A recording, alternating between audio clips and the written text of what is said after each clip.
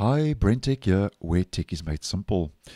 So, with the Google Chrome UI refresh that Google is pushing out to Chrome, where they are bringing more material, you design changes and some layout changes, over and above the uh, visual redesign changes that Google has made to the browser, they have also relocated some of the features to other areas of the browser. And I have noticed uh, since the rollout of a Chrome UI refresh that some viewers are battling to find some of these um, little components and features that have been moved with the design changes to other areas of the browser.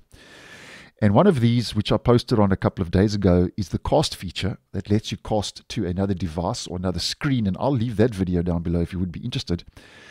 But I've also been asked uh, in the comments over the last day or so, um, basically to explain where the share icon that was previously found in the address bar has been moved because Google has removed it from the address bar and moved it to another location in the browser.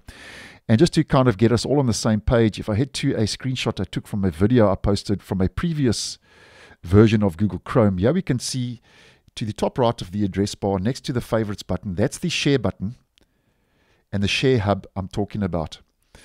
Now, with the UI refresh that has rolled out, that, as you can see, is no longer in the top right of the address bar.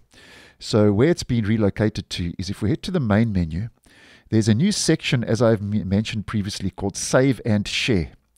So here you've got all the different options um, and some new options that were previously available.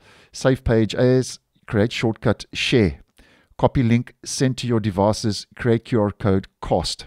So this is where cast has also been moved, as I mentioned previously, and this is where you can find all these sharing options that were previously available as part of that sharing hub, which was previously available to the top right of the address bar. So I just wanted to clear that up because, as mentioned, Google has made a couple of uh, design changes uh, with the Chrome UI refresh. And if you were wondering, that's where share has been relocated to. So thanks for watching, and I'll see you in the next one.